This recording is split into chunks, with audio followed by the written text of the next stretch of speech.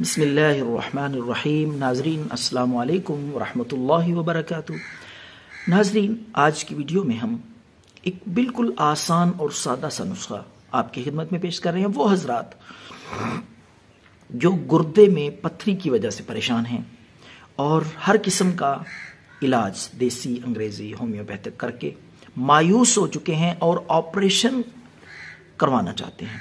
गुर्दे की पथरी के लिए ऑपरेशन करवाने से पहले एक दफ़ा ये नुस्खा ट्राई कर लें। इन अज़ीज़, बग़ैर ऑपरेशन के गुर्दे की तकलीफ़, दर्द और पथरी मुकम्मल तौर पे ख़त्म हो जाएगी।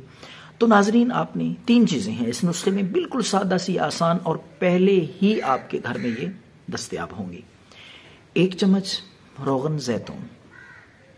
अच्छी किस्म का हो, खालिश हो और एक्स्ट्रा वर्जन यानी पीने वाला हो, मालिश वाला ना हो, ये दो किस्म का होता है।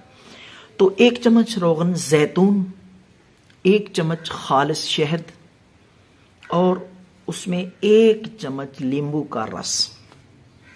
ये तीनों चीज़ें मिक्स कर लें, ताकि यकजा हो जाए। मिक्स करने के बाद सुबह निहार कम अज कम दो हफ़्ते तक आप ये नुस्खा इस्तेमाल करें।